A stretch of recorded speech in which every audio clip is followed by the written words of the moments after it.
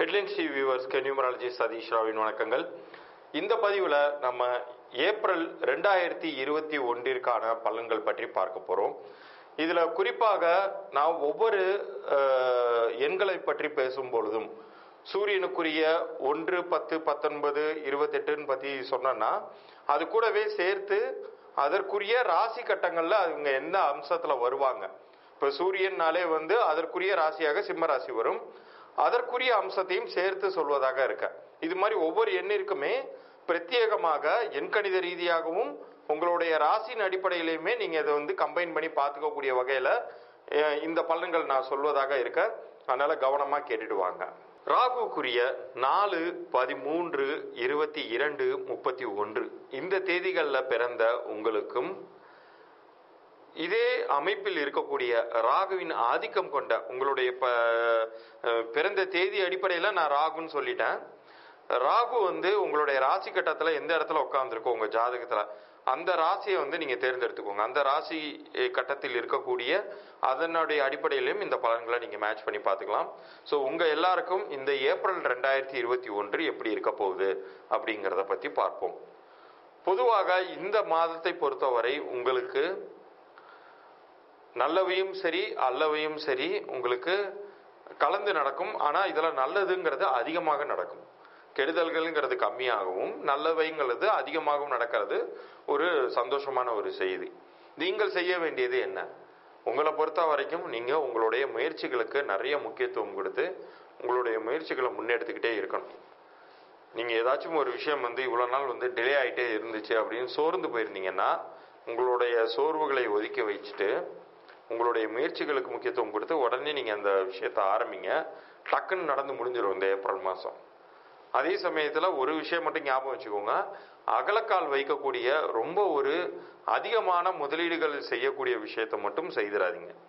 அதற்கு வரக்கூடிய மாதங்களில் தான் நமக்கு அதுக்கான கால சூழ்நிலைகள்ங்கிறது உருவாகும். ஏன்னா நல்லவைகள் நல்லதை நிறைய நடக்கும்னு நான் சொல்லியிருந்தாலும் கெடுதல்களும் இருக்குது ஒரு பகுதியில். ஸோ அதுலேருந்து ஜெயிக்கிறதுக்காக கொஞ்சம் வந்து அகலக்கால் வைக்காம நிதானித்தே நீங்கள் வந்து உங்களுடைய செயல்பாடுகளை வைத்துக் கொள்ளணும். ஏன்னா இப்போ அடுத்தடுத்து வந்து உங்களுக்கு திடீர்னு லாக்டவுன் போட்டாங்கன்னா ஆச்சரியப்படுறதுக்கு இல்லை. அது மாதிரி ஒரு சூழ்நிலை வந்துச்சுன்னா உங்களுடைய மு- முதலீடு பொருளாதாரம் இது எல்லாமே போய் ஒரு இடத்துல சிக்கிக்கும். ஆனால் நிதானித்தே உங்களுடைய முடிவுகளை வைத்துக் கொள்ளணும். மகளிரை பொறுத்த வரைக்கும் எந்த சிக்கல்களும் கிடையாது. அவர்கள் இப்போது என்ன மனநிலையில் இருக்கிறார்களோ பணிபுரிந்து கொண்டிருக்கிறார்களோ அதை அப்படியே கன்டினியூ பண்ணிக்கிட்டே வரலாம். புதிய முதலீடுகளை மட்டும் தவிர்க்கணும். புதிய சிறு சேமிப்புகளுக்காக ஏதாச்சும் போய் காசு கட்டுறதுன்னா பாதியிலே வந்து அது நிறுத்துற மாதிரி ஆயிடும். அதனால அது போன்ற புது முயற்சிகளை மட்டும் நீங்கள் நிறுத்தி வைத்தால் போதுமானது. மாணவர்களை பொறுத்த அளவுக்கும் எந்த குழப்பமும் கிடையாது. அவர்கள் படிப்பில் மட்டும் ஃபோக்கஸ்டாக இருந்தால் போதுமானது. அரசியல் துறையைச் சேர்ந்தவர்களுக்கு உங்களுக்கான ஒரு நல்ல ஒரு ஆதரவுங்கிறது மக்களிடையே பெருக ஆரம்பிக்கும். ஆனால் வந்து வார்த்தைகளில் மட்டும் கவனம் செலுத்தினால் போதுமானது. நீங்கள் சொல்லக்கூடிய விஷயங்கள் தவறாக புரிந்து கொள்ளப்பட்டு அது உங்களுக்கு எதிராகவே திரும்பிவிடக்கூடிய ஒரு அபாயம்ங்கிறது இருக்கவே செய்து இந்த காலகட்டத்தில். இந்த மாதத்தை பொறுத்தவரை ஒரு சில தேதிகள் உங்களுக்கு அனுகூலமாக இருக்க போகுது. அதில் வாரந்தோறும் தோறும் ஒவ்வொரு வார ரீதியாக அதை நான் சொல்லிட்டு வரப்போகிறேன் ஏப்ரல் மாதத்தில் வரக்கூடிய முதல் வாரத்தில் உங்களுக்கு ஒன்று வரக்கூடிய ஒன்றாம் தேதியும் சரி அது வந்து உங்களுக்கு புதிய ஒரு முயற்சிகளை தூங்குவதாகட்டும் அல்லது பண வருவாயாகட்டும். இது இரண்டு- இரண்டுத்திற்குமே இந்த ஒன்றாம் எண் வந்து உங்களுக்கு கை கொடுக்க போகுது. ஒன்றாம் தேதியை பற்றி நான் சொல்கிறேன் அதே போல் இரண்டாம் வாரத்தை பொறுத்தவரை ஏழாம் தேதியும் பத்தாம் தேதியும். இந்த தேதிகளில் நீங்கள் தெய்வ வழிபாட்டிற்கான நாளாக ஒதுக்கிக்கோங்க. இந்த தேதிகளில் புதுசாக எதுவும் முயற்சிகளை துவங்காதீங்க. அதே போல் பெரிய செயல்பாடுகளை வைத்துக் கொள்ளாதீர்கள். மனதை அமைதியாக வைத்துக்கொண்டு ஏதாச்சும் கோயிலுக்கு போயிட்டு வரணும்னு இருந்தீங்கன்னா அந்த கோயிலுக்கு போயிட்டு வரலாம். விடுபட்ட தெய்வ வழிபாடுகளை குடும்பத்தோடு சென்று செலுத்திட்டு வரலாம். அது உங்களுக்கு நல்லதாகவே இருக்கும்.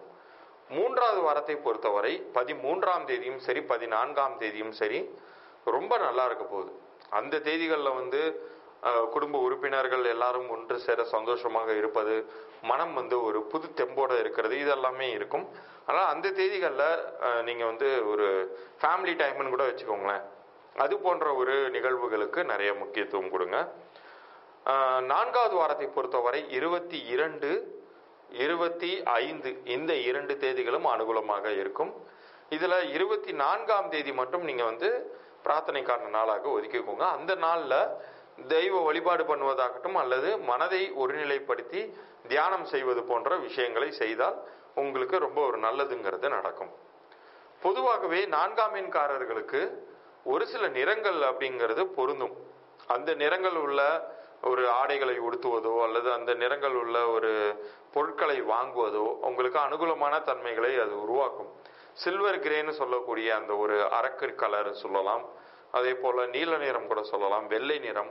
இந்த நிறங்கள்லாம் உங்களுக்கு வந்து நல்லா சூட்டபிளா இருக்கும். இந்த நிறங்களுக்கு நிறைய முக்கியத்துவம் கொடுங்க. அது உங்களுடைய மனது மனதின் தெளிவையும் மன ஆரோக்கியத்தையும் பாதுகாக்கும். ஒரு நிறம் எப்படி வந்து மனதின் ஆரோக்கியத்தை பாதுகாக்கும் அப்படின்னு கேட்டிங்கன்னா இன்னைக்கு இருக்கக்கூடிய மருத்துவ உலகமே அதை அங்கீகாரம் பண்றாங்க. கலர் தெரப்பின்னு சொல்றாங்க. நிறங்களின் மூலமாக மனதை இயக்கக்கூடிய ஒரு விஷயம் சைக்காலஜில இன்னைக்கும் இருக்கு. அதே போல உங்களுக்கு அதிர்ஷ்டம் கொடுக்கக்கூடிய தேதிகள் இது இந்த மாதத்தில் மட்டும் கிடையாது.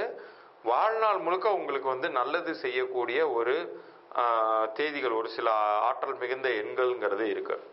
அது என்னென்னா ஒன்று பத்து பத்தொன்பது இந்த தேதிகளாகட்டும். அதே போல் நாலு பதிமூணு இருபத்தி ரெண்டு முப்பத்தி ஒன்று இந்த தேதிகளாகட்டும். இந்த தேதிகளில் நிறைய நல்ல விஷயங்கள் இயற்கையாகவே உங்களுக்கு நடக்கும். உங்களுடைய முயற்சிகள் குறைவாகவும் அந்த முயற்சிகளுக்குரிய வெற்றிகளான அபரீதமாகவும் கிடைக்கக்கூடிய நாட்களாக அந்த நாட்கள் அமையும். நீங்கள் செய்ய வேண்டியது ஒரே ஒரு விஷயம் என்னன்னா இந்த நான்கு வரக்கூடிய தேதிகளில் மட்டும் நன்மைகள் தானாக நடக்கும். உங்களுடைய முயற்சிகள் நீங்கள் எப்போதும் போல செய்துட்டு வரலாம். அதிர்ஷ்டகரமான தேதிகளாக ஒன்று பத்து பத்தொன்பதை மட்டும் நீங்கள் வச்சுக்கோங்க. நாலு வரக்கூடிய தேதிகளில் தானாகவே உங்களுக்கு நன்மைகள் தேடி வந்து நடந்துடும் ஏன்னா அந்த அளவுக்கு உங்களுக்கு பொருந்தி போகும். அது உங்கள் தேதியோட பொருந்தி போகும். இவ்வளோ நேரம் நான் சொல்லிட்டு இருந்தது எல்லாமே உங்களுடைய தேதிக்கு மட்டும்தான் நான் சொல்லிட்டு இருக்கேன். தேதி வந்து உங்களுக்கு நாலு பதிமூணு இருபத்தி ரெண்டு முப்பத்தி ஒன்றுன்னு சொன்னேன் இல்லையா? அதே போல உங்களுடைய ஜாதக கட்டத்தில் ராகு எங்க உட்கார்ந்துருக்காருன்னு பாருங்க. அந்த ராசிக்குரிய ஒரு தன்மையும் வந்து இந்த பலன்களில் வெளிப்படும். இது எல்லாமே வந்து ஒரு பகுதியை மட்டும்தான் நிறைவு செய்யும். அப்போ முழுமையாக பெறணும்னா என்ன பண்ணணும்னா உங்களுடைய பிறந்த தேதியின் கூட்டி எண் என்னங்கிறத பார்க்கணும். உங்களுடைய பெயரினுடைய எண் என்னங்கிறதையுமே நம்ம செக் பண்ணணும். அதெல்லாம் சரிபார்த்து நான் உங்களுக்கான குறிப்புகள் தருவதாக இருக்கேன் நீங்கள் செய்ய வேண்டியது ஹெட்லைன்ஸ் டிவியை சப்ஸ்கிரைப் பண்ணி அது ஸ்க்ரீன்ஷாட் எடுத்து எனக்கு அனுப்பும் பொழுது உங்களுக்கான பிரத்யேக குறிப்புகளை நான் பதிவு பண்ணி அனுப்புவேன். அது உங்களுக்கு வந்து ரொம்ப உபயோகமாக இருக்கும்.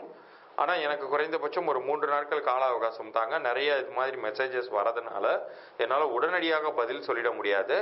கமெண்ட்லையும் போட்டுறாதீங்க. கமெண்ட்டில் போட்டாலும் என்னால் ரிப்ளை பண்ண முடியறதில்ல.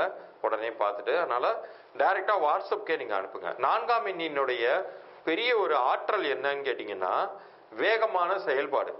பொதுவாகவே உங்களுக்கு வந்து வெரி ஆக்டிவ் பர்சன் நீங்கள் எந்த ஒரு விஷயத்தையுமே உங்களுடைய கற்பனை திறன் மூலமாகவும் உடல் சக்தியின் மூலமாகவும் உடனடியாக செய்து காமிக்கக்கூடிய ஒரு ஆற்றல்ங்கிறது இறைவன் உங்களுக்கு கொடுத்துருக்கிற மிக அரிய பரிசு.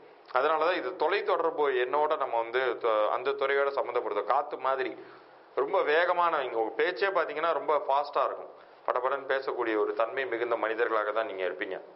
என்ன அந்த வேகத்தில் நிதானமும் தேவைங்கிறத மட்டும் நீங்கள் வந்து என்னுடைய ஆலோசனையாக நீங்கள் புரிஞ்சுக்கலாம். ஏன்னா ஒரு விஷயத்தை வந்து நம்ம வேகமாக எடுத்தோம் கவிழ்த்தோம்னு சொல்லுவாங்க இல்லையா? அது நிறைய நேரங்களில் உங்களுக்கு பொருந்தி போயிடும். இடம் பொருள் ஏவல் பார்த்து பேசாததுனால மாட்டிக்குவீங்க. நிறைய விஷயங்கள் வந்து எதை சொல்லக்கூடாதோ அது வந்து அடுத்தவங்களுக்கு போய் சேர்ந்துரும். அதை வச்சு அவங்க வந்து உங்கள் வாழ்க்கையில் கேம் விளாண்டுருவாங்க அதனால் அதில் மட்டும் நீங்கள் நிதானமாக இருக்கணும்.